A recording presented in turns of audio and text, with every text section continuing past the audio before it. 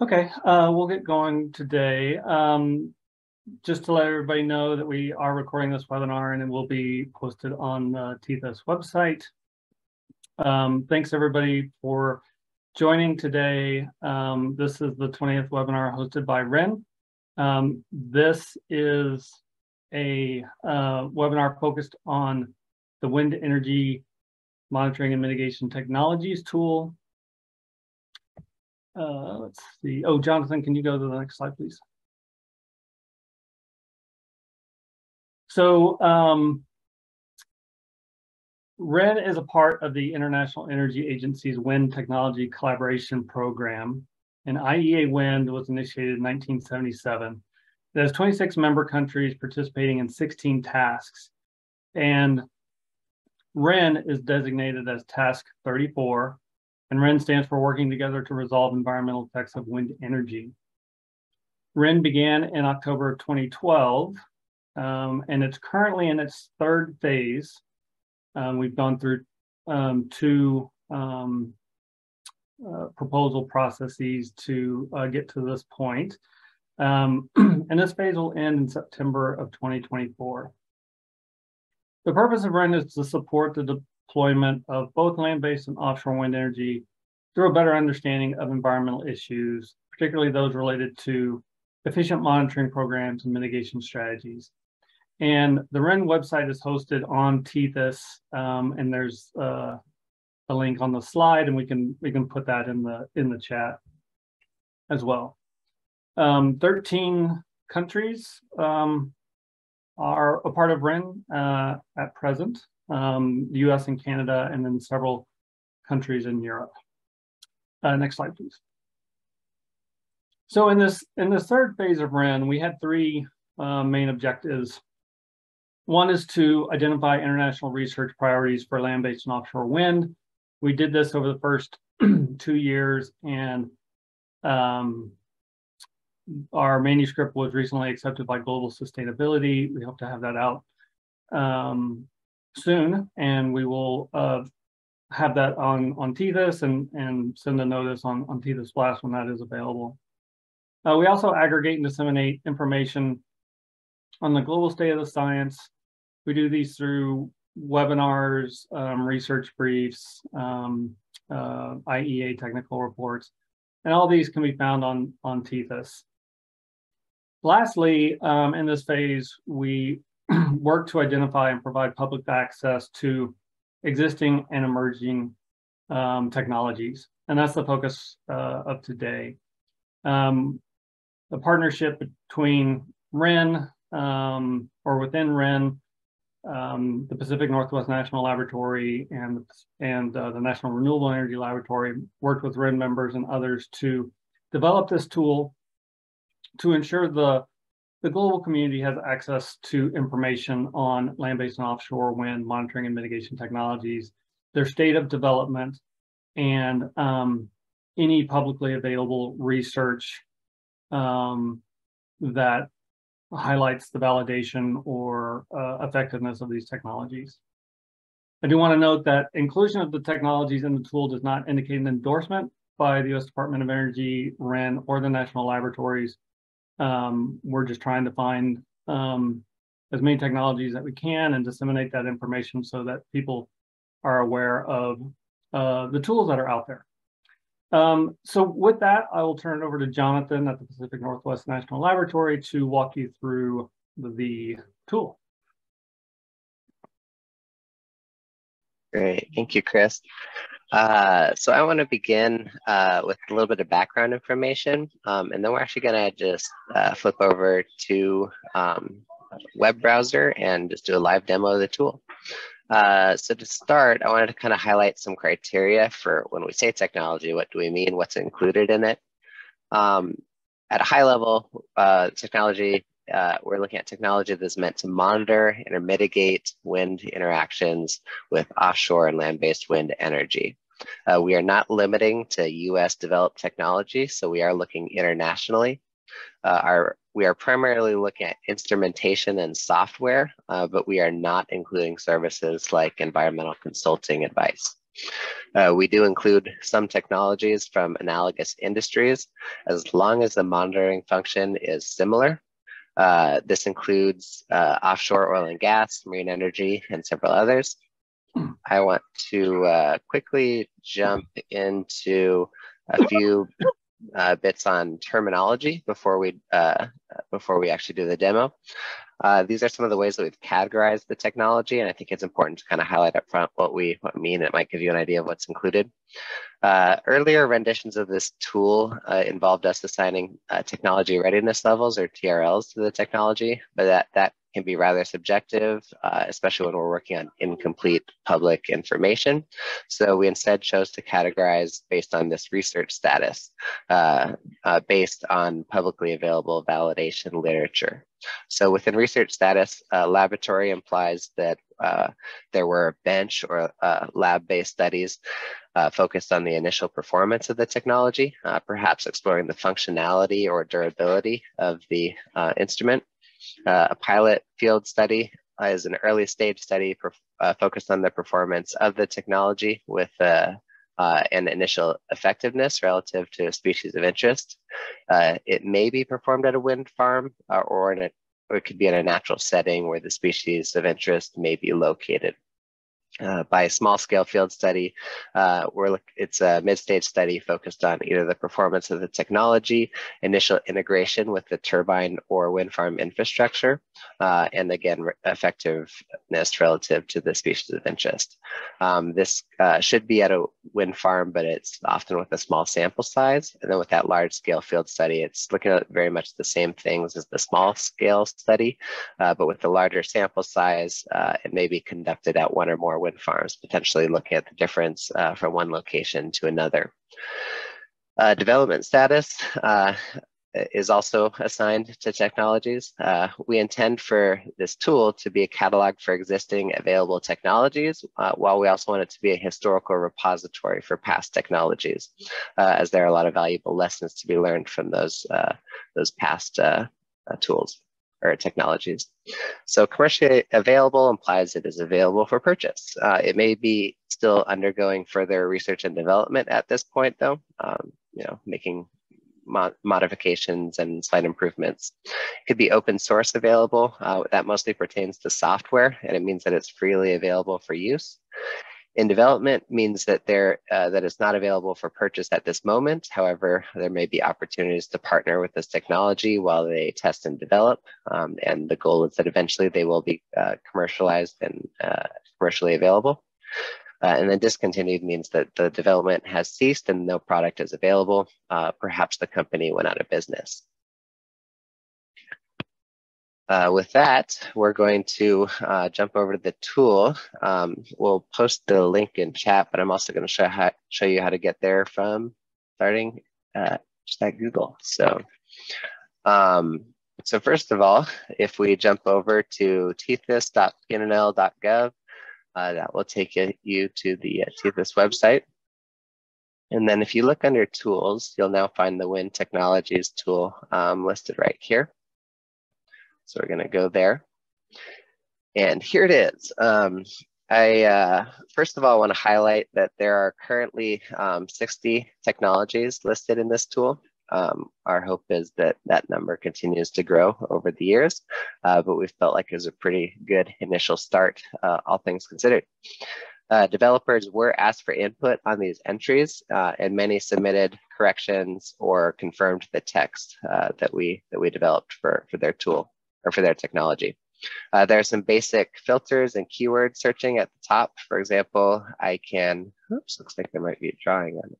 Um, anyway, uh, for example, I can search bats here and then go deterrent, um, and you're gonna, it's gonna pull up four different uh, technologies that look at uh, passive acoustic deterrents for um, for bats. Uh, one of them one of which was uh, actually created for both birds and bats.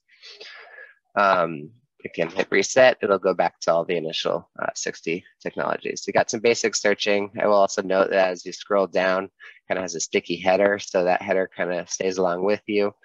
Um, there are several uh, design principles in play here. Uh, we wanted to provide a high level overview uh, of each technology while also providing information to learn more. So it's expected that a developer or researcher will look closely at the validation studies, which are over here under citations, and that they'll do kind of their own analysis before um, to assess its application uh, at a specific location. Uh, we also try to pack a lot of information into each row. Uh, so we do some combining of fields and I'll kind of, uh, so I'll quickly walk through what fields we have available for each technology. And then uh, you can, um, I'll kind of highlight whenever we've combined uh, fields. So with, within hierarchy, uh, this is mainly used to determine whether the technology is monitoring or mitigation. Uh, monitoring, as we've defined it, is methods and technologies used to observe ecosystem processes, habitat changes, behavior, activity, or abundance. Uh, and it's used to assess uh, potential environmental impacts resulting from a project. Meanwhile, mitigation is a means to avoid, minimize, or compensate the adverse effects of environmental impacts resulting from a project. Uh, depending on the, regula uh, the regulatory authority, mitigation may also refer to measures that reduce, uh, rectify, rehabilitate, or offset impacts. So you have hierarchy. Uh, that gets its own column. Uh, we then have industry, and this specifies, uh, this is just this top section. You'll notice there's kind of a, a break. So industry is gonna be whether it's land-based, offshore, or both. Uh, then getting to implementation phase, this is the stage at which the technology is designed to be used. Uh, so that could be planning, construction, operation, or decommissioning. So that's going to be listed kind of in that same column there. Uh, next, we have environmental stressors and receptors. So stressor is a common term used throughout Tethys, but it identifies the physical or biological uh, external effect caused by the wind farm or the turbine or the wind farm.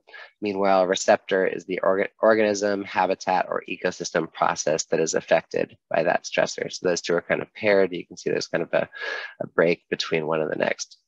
Uh, we then list the technology. Uh, the developer is going to be listed in bold at the top, and then it's going to be uh, the, the name is going to be linked to where you can get where you can find out more information or um, you know potentially purchase that that technology. So link, link to the, uh, the the technology developers uh, um, website.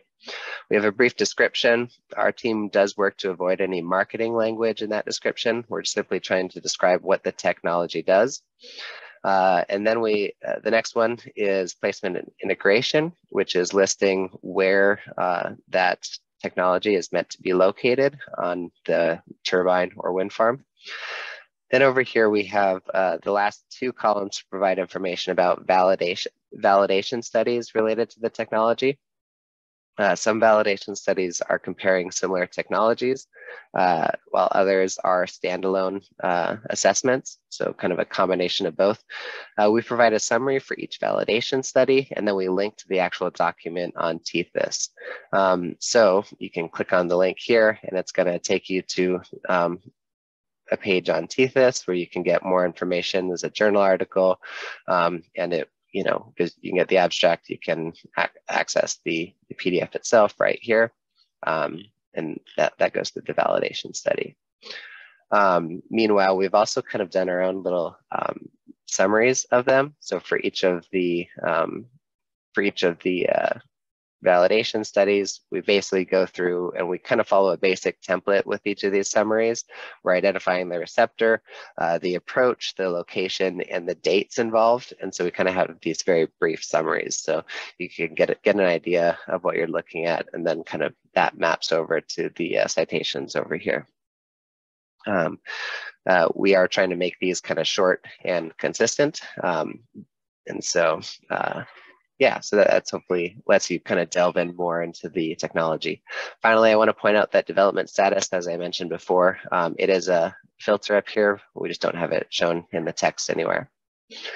Um, with that, there's also a couple of additional uh, kind of bells and whistles on the tool. So first of all, um, by clicking uh, right here, you can actually download a CSV file of the um, uh, of, of, all the technologies. If you filter down, it should give you kind of a subset of whatever you filtered down to. And so that's a CSV file. It should have all, um, all the fields that are present. Um, it doesn't, it kind of uncombines the fields like what we've done here. So you can, uh, if you're trying to do additional analysis on, on, on kind of what technologies are available, um, that's a great way to kind of pull it offline and, and dig a little bit more deeper into all of that. Um, additionally, if you want to recommend a missing, a new or a missing technology, uh, there is a survey uh, that we've set up. So if you click right here on this survey, uh, it brings up something in SurveyMonkey. It's a nice, neat form that kind of walks through um, all the different fields that we need. Um, and in a lot of places, it gives you that definition for what we mean by something. So, you know, it'll kind of help guide your selections. Um, we uh, uh, do ask for contact information up at the top. Uh, this information is not going to be shared, uh, but we do, uh, if it makes sense, we may have you be the point of contact for that technology because we do hope to kind of follow up with uh, with each of these technologies, follow up with the developers and just verify that, hey, are there any new validation studies? Is the information still correct? Things of that nature. So we may still list you as the kind of point of contact just internally um, so that we can check back with you. Um, there is, we also do reserve the right to um, alter some of the text fields, specifically that description and those summaries. Uh, largely, we're going, going to just be using this for doing that for consistency and also to remove any marketing language. We want this tool to be very straightforward and it doesn't do if you have multiple technologies, all saying that they're the best at doing what they do, right? Um, so we're, we're just trying to state facts and people can, can look at the validation studies themselves to kind of see how well that that technology is performing. Um, so our team will continue to add and update entries. We plan to request updates from the community um, on Tethys Blast every six months or so. Um, and we do intend to request updates from developers on an annual basis. Um, that more or less concludes the tool um, or the, uh, the demo everything that I had. Uh, we will have some time for Q&A at the end, and so you're welcome to um, ask more questions or ask about uh, jumping into uh, some of the uh, specific, uh, if you want to see anything specific, let us know. Um, I will flip it back over to Chris to conclude. Thank you. Thanks, Jonathan. Um, there, were a lot of people that worked on this, including um, WREN members, um, but I want to acknowledge um, several folks from the Pacific Northwest National Laboratory, including Jonathan, Hayley Farr, and, and uh, Zara Miles at the National Renewable Energy Laboratory, Sam Rooney, Emika Brown, Laura Dempsey, and Karin Sinclair, and then support from the Department of Energy, Wind Energy Technologies Office, um, Jim Ahlgrimm, Jocelyn Brown Saraceno, Joey Page, Raphael Tisch, and Naomi Lewandowski all provided insight and expertise in developing the tool and what to include in the tool. And it was, it was a nice collaborative effort among these people and um, members of WREN. Um, so with that, um, happy to take uh, any questions um, from you all um, with time remaining. We've got about 10 minutes. Um, so yeah, uh, either put them in the chat or um, raise your hand and, and uh, happy to answer anything you have.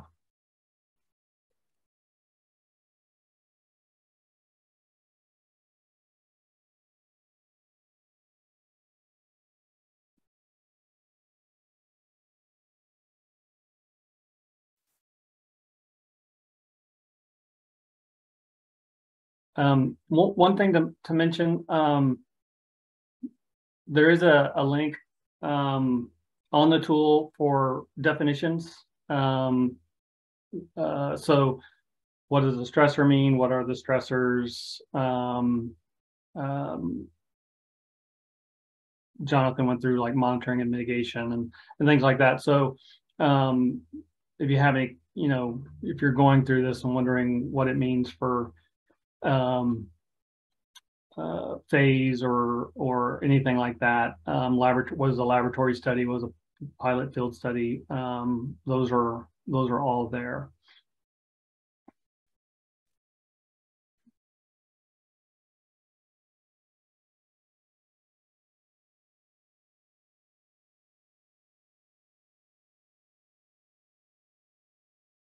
Um, okay, um, well, um, if no questions, we, we can end the webinar. Um,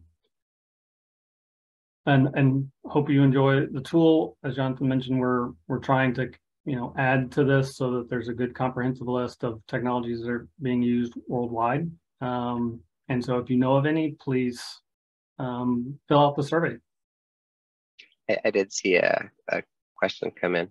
Okay, super. Oh yeah, here they're coming. All right, so uh, one question is this tool, uh, does it have real-time update of data? Um, so we um, we will be continually continually looking for new publications for existing tools that are in here and can update those um, as we come across them. Every six months, we will um, uh, do a just a call for technologies through the Tethys Blast and can upload new technologies um, twice a year. And then if there's any corrections or anything we need to fix within the tool, um, we can do that. But um, it won't be uh, real time. It'll be different periods of the year that we we do these updates. Yeah, just because there's a there's a process involved with doing that import, and so um, uh, yeah, we're just for for our sanity, we're, we're doing it. And if there's a lot of updates, we can do it more frequently than, than six months, but that's kind of what we're targeting right now. Uh, next question, do you have any results from groups implementing tool technologies? Um, I, if I'm interpreting this right, I think that's what the the citations um, are for are the kind of the results of validation studies or just uh, experimental studies in some cases um, for each of these technologies. And uh, the way that we've designed this is we're leaving it up to the reviewer, um, those who are using the tool to kind of assess uh, for themselves whether um, this tool meets their needs. Um, so those results are in the citations. Yeah. I hope that uh, answered your question. Sound good. Uh, next question, does BOEM have this tool? Um, this tool's, this specific tool is available for anyone. Um, it's, it's publicly available on the Tethys website. And I would also note um, it, BOEM had a somewhat similar tool, um, although they were looking at more like monitor, you know, mitigation strategies um, offshore. Um, you know, we're, we're kind of doing something different than that if you're referring to the previous tool that, that BOEM had. Hmm. So, um, all right. Um, another question uh, from the standpoint, this is totally hypothetical, but what if developers have a mitigation strategy they like, but regulatory agencies do not agree? Then that technology runs the risk of not being accepted as acceptable in the field. Um, can you repeat that one? Sorry. Yeah, basically, what if um, developers have a mitigation strategy they like, but mitigation or regulatory agencies do not agree? Then that technology runs the risk of not being accepted as applicable in the field. Yeah, I, I mean that's one that's outside the scope of this technology tool. Um, we're not evaluating or making any value statements on on any of these technologies. Um, that's a a broader discussion between uh, the regulators and industry and the scientific community. Yeah, and I would also note that we are also looking internationally. So if one uh, regulatory agency, you know, chooses not to use something, well, we're kind of not being pigeonholed into just views for a specific country. We're kind of covering everything. So um, yeah, we're we're really not excluding things based on based on that. That's why we say it's kind of up to the application to look at the technology and look at the validation studies and kind of assess whether it's feasible. Uh, next question, do you have any reports of how well these technologies are performing in the field once they are more widely available? Um, again, I, I think that's in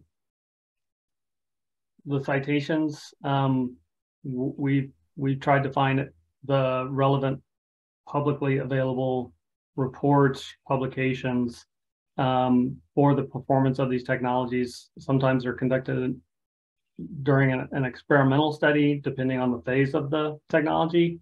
In other cases, they're technologies that um, may be commercially available and are reporting out on their performance. So um, that kind of depends on um, where the stage of, of development the technology is in.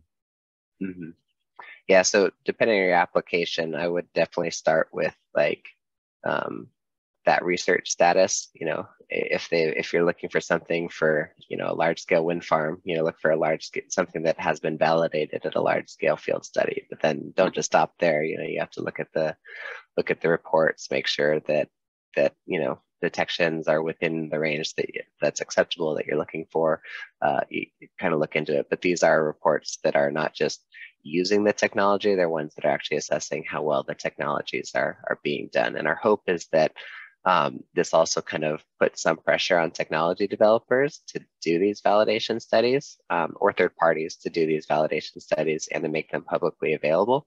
Um, because, you know, if there's a tool here that has, you know, great documentation on, on, the, on the validation that's been done for it, um, it's going to be viewed maybe as more trustworthy. You know, again, it's still up to the interpretation of whoever's using it, but um, there's going to be more information for them to dive into. So if you see like six citations next to something, then well, it's been it's been used a lot, it's been looked at a lot. You know, um, kind of makes it look better. So you know, do your validation tests and publish them if you're a technology developer. It'll it'll look better.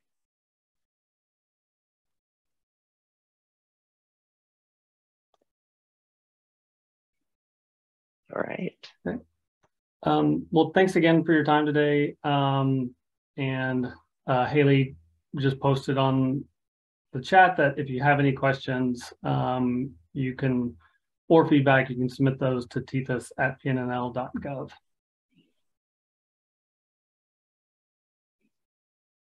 Great. Thank you. Thanks, everyone.